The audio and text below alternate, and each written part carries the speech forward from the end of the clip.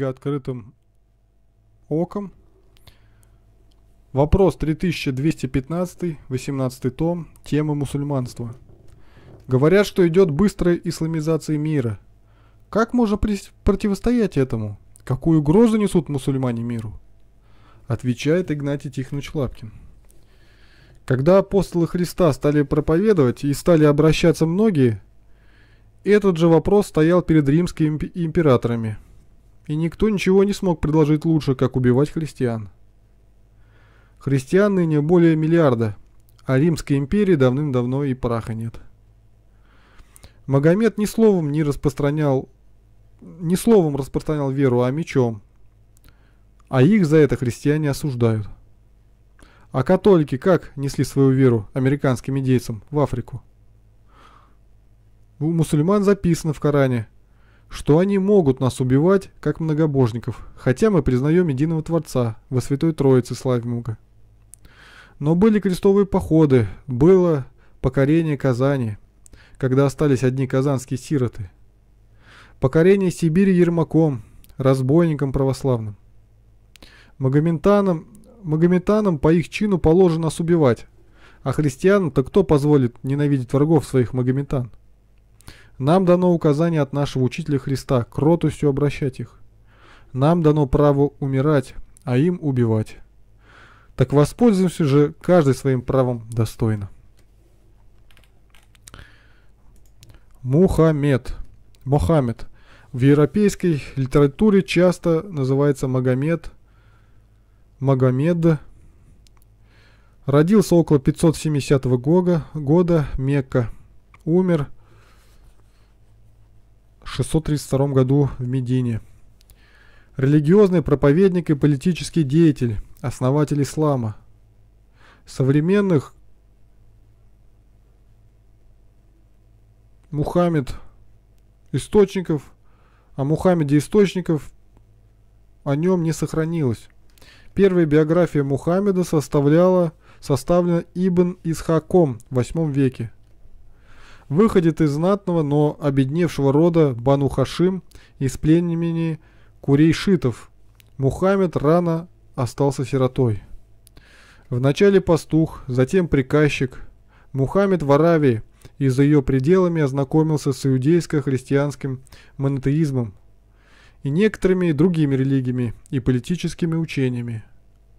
Женитьба на богатой мекканской купчихе Хадидже дала ему возможность посвятить себя исключительно религиозности, религии, этическими проблемами.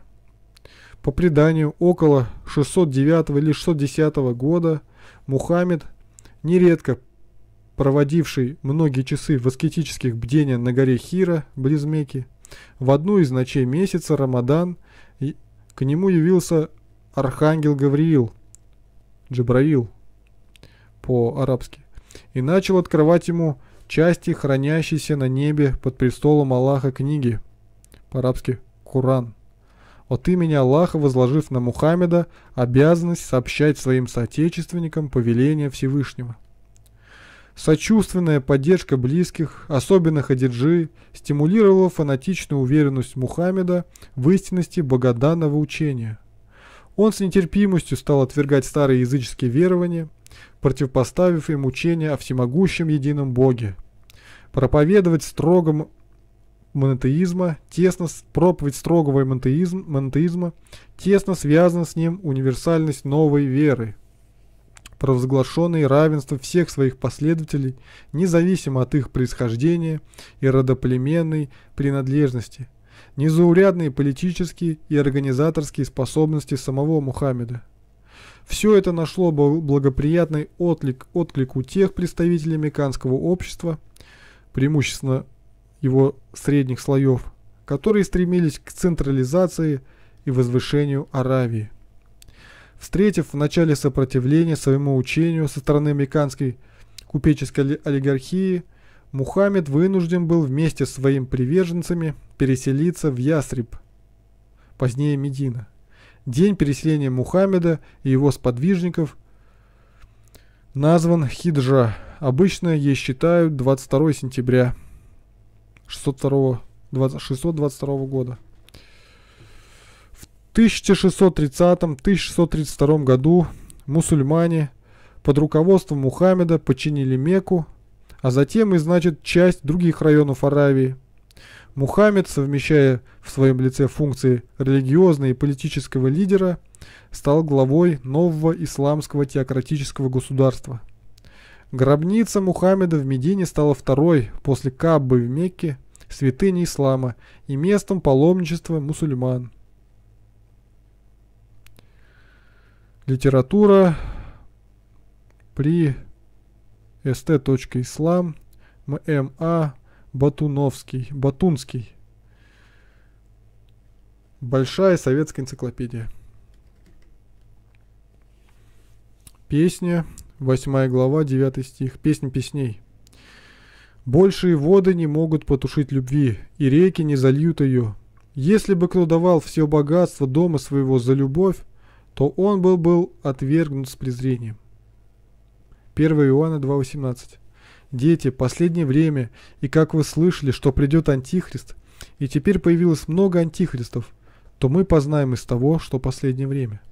1 Иоанна 2.22 Кто лжец, если не тот, кто отвергает, что Сын, что Иисус, что Иисус есть Христос?